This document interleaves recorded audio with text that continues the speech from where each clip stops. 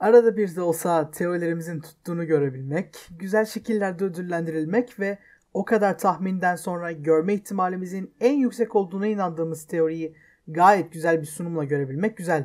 WandaVision zaten 6. bölümden sonra ciddi açıklamalara ihtiyacımız olduğunu anlamıştı. Her ne kadar o açıklamaları birebir vermese de en azından artık öyle bir noktaya geldi ki açıklamazsa zaten yerin dibine girecek. O yüzden izleyenleri ciddi oranda mutlu edebilen, her ne kadar kısa olsa da gayet güzel olan bir bölümdü.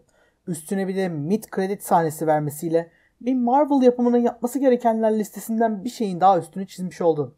Yine de girişi aşırı fazla uzatıp sizleri de sıkmaya gerek yok. O yüzden bölüme giriyorum. Karşınızda WandaVision 7. bölüm.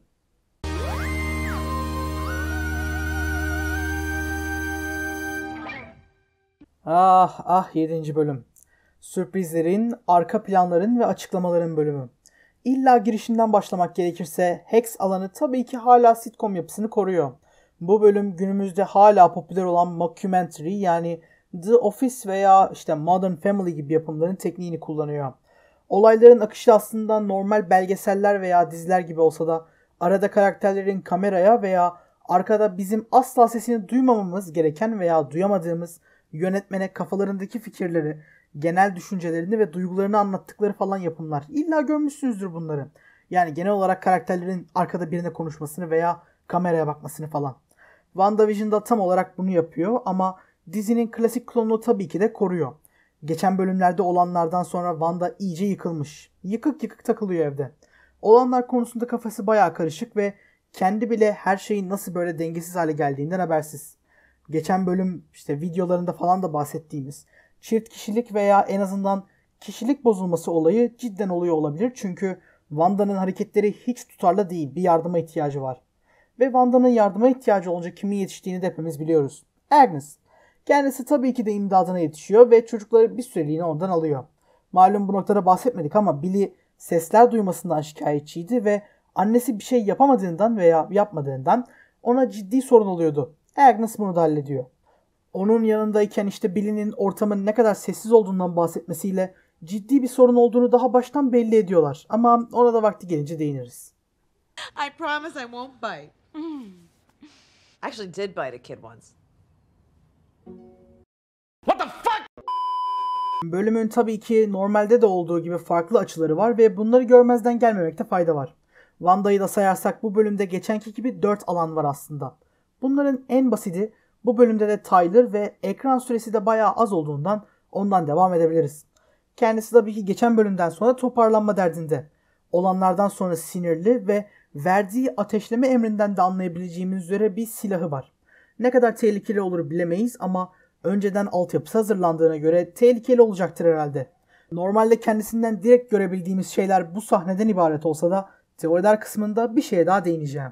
Darcy ve Vision tarafı da bu bölüm olayları olsa da biraz alakasız olan taraflardan biri. Her ne kadar geçen bölümden sonra ikisinden de bir şeyler beklesek de ne yazık ki onlar tarafında bir şey olmuyor. Darcy içeriye girdikten sonra bir sirk çalışanı olmuş ve Vision'a da yer olarak yakın olduğundan ikilinin bir araya gelmesi zor olmuyor. Vision Darcy'yi normale döndürüp ona hafızasını geri verirken Darcy de ona dışarıdan bilgi veriyor ve Vision'ın hatırlamadığı bilgileri ona vermesi sayesinde de birbirlerine gayet yardım ediyorlar aslında. Ki Wanda kısımlarında bahsettiğim ekran arkasındaki yönetmene ve kameraya doğru duygularını anlatma kısmı Vision'da da yaşanıyor. Hatta setteymiş gibi. Üzerindeki yaka mikrofonunu falan da görebiliyorsunuz. Kendileri tıpkı dizilerdeki gibi birbiri ardına engellere takılıp duruyorlar zaten ki onlar da durumun ne kadar saçma olduğunu farkındaydı. Vision en son ben ne yapıyorum deyip uçunca da sonunda deyip bayağı güldüm ne yalan söyleyeyim. Onların kısmı sonraki bölümlere kalmış olsa da karakter gelişim açısından önemli tabii ki.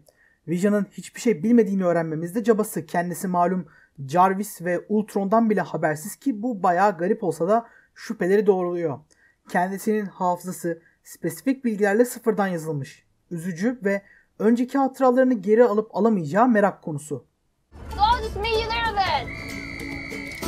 Ve finalden önceki Monica ve Jimmy tarafı da bayağı önemli tabii ki. Önceki bölümlerden beri istediği o muhteşem aracı almaya giden Monica ve Jimmy acaba bu sefer içeri girecekler mi sorusunu sormamıza sebep olmuştu ve ne yazık ki bu araçta fos çıktı. Ne kadar güçlü dizayn yaparsan yap, gerçekliği yeniden yazan mistik enerjilere ne yazık ki dayanamıyor. Ama bu sayede çok daha güzel bir şey yaşadık. Monica'nın bunca zamandır hazırlığı ve altyapısı yapılan güçleri sonunda geldi. Tam da beklediğimiz gibi enerji kaynaklı olan bu güçler çizgi romanlardaki spektrum veya foton isminin hakkını gayet veriyor ki spektruma baya yakın çünkü enerji hatlarını dalga dalga görüyor ki bu da zaten spektrumun tanımı aslında. Normalde çizgi romanlardaki final ismi spektrum olsa da annesinin lakabı en azından MCU içinde fotondu ve yani zaten foton ismi de uyar. Büyük ihtimalle foton ismini alacak.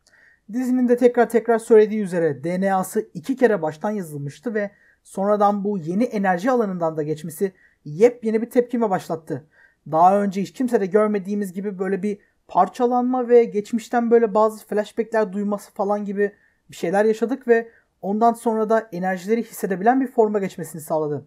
Herkes sirk çalışanı olurken kendisinin zamana göre yeniden yazılmaması ve güçler edilmesinin sebebi de büyük ihtimalle DNA'sının önceden değişmiş olması. Yani Hex alanına zaten uyumluydu ve öncekine uyumluyken bu alandan yeniden geçmesi ona bu enerji güçlerini vermiş olabilir. Ve doğal olarak da Monica amacına ulaşabilmek için Wanda'nın yanına gidiyor. Zaten bölümlerdir yapacağını söylediği şey de buydu. Her ne kadar başta geçenki seferki gibi Wanda böyle hani Monica'yı yiğitleyip böyle dışarı mı atacak diye düşünsek de Monica da artık boş değil. Bu sefer cidden konuşmasına güzelce hazırlanıp gelmiş ve Wanda cidden bir şeyleri düşünmeye başlıyor. Bir an aslında her şey çok güzel olacakmış gibi dursa da Agnes tabii ki yerinde durmuyor. Zaten yani artık bir şeyler olduğunu biliyoruz. Monica'yı durduruyor ve Wanda'yı da apar topar evine götürüyor. Ve aslında başlarda çay getirmesiyle falan iyi dursa da bir şeyler eksik sanki. Malum çocuklar da buraya gelmişti önceden. Wanda da doğal olarak bunu fark ettiğinde cevap olarak aşağı inmişlerdir. Yani aşağıdaki mahzenkiler neyse artık. Oraya inmişlerdir cevabını alınca olaylar patlak veriyor.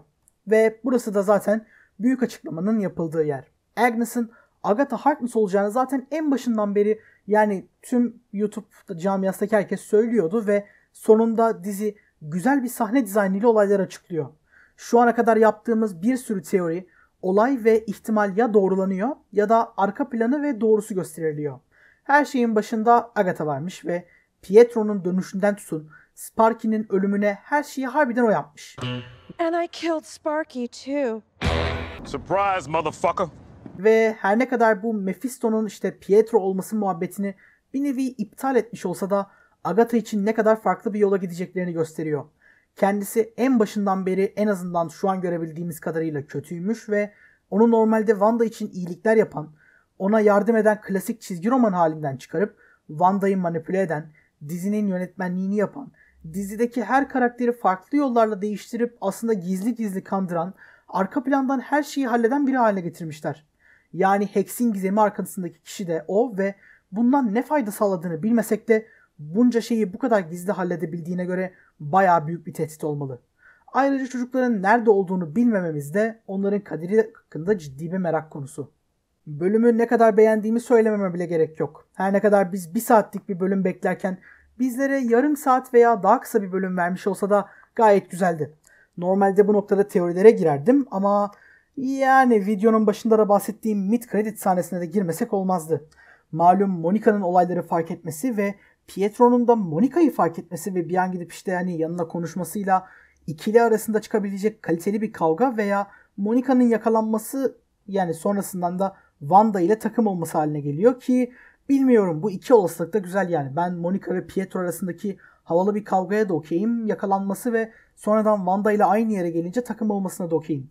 Bilmiyorum. Bekleyip göreceğiz. Teoriler tarafında da dizi artık teorilere fazla yer vermese de Tyler tarafında hala minik bir durum var aslında. Dizi hazır mutantlarla alakalı gelecekte olabilecek şeylere dair işaretler veriyorken Tyler karakterinin yapabileceği bir şey bu. Sentinelleri oluşturmak. Kendisinin bunca zamandır Vision'ın teknolojisi üzerinde araştırmalar yaptığını ve onu yeniden canlandırmaya, onu silah olarak kullanmaya çalıştığını son bölümden zaten öğrendik. Bu silahlandırma çalışmalarının bir bölümü Tyler abinin Wanda ve onun yaptıklarına olan nefretiyle birleşirse onun gibileri avlamak üzere dizayn edilebilecek makinelerin üretilmesine yol açabilir. Biraz uzak bir teori gibi durabilir ve yani teknik olarak öyle ama yine de iyi bir hayal ve dediğim gibi normalde aslında e, Trask karakterinin yaptığı bu sentinelleri Tyler abiden görmek aslında Tyler abiye MCU için biraz daha yer katar. Hala kim olduğu bilinmeyen uzay bilimciye de gelirsek kendisinin Reed Richards olduğu kanısındayım ama tabii ki ortada kesin bir şey yok. Ama aracı olanları görünce bir an Fantastik Dörtlü ekibinin de bu tarz başarısız giden olaylar zinciri sonucu güçlerini kazandığını hatırladım ve ne kadar ironik olurdu diye düşündüm. Ama yani dediğim gibi onu uzatmayacağım çünkü şu an için en azından bekleyip görmekten başka seçeneğimiz yok. Şu ana kadar gördüklerimiz genel olarak aslında sonraki iki bölümde ne kadar fazla açıklama yapacağının bir kanıtıydı dizinin ve yani umarım yani insanlar da benim kadar heyecanlıdır o konuda. Her ne kadar ben şu an çok heyecanlı durmasam da 10 dakikadır konuşmamdan heyecanlı olduğumu anlayabilirsiniz zaten. O yüzden şimdilik benden bu kadar. Sağdan ve soldan farklı videolarıma gidebilir. Alttaki tuştan da abone olabilirsiniz. Sonraki bölüm hakkındaki beklentilerinizi ve tabii ki de teorilerinizi yorumlara yazabilirsiniz. Hoşçakalın ve unutmayın seviliyorsunuz.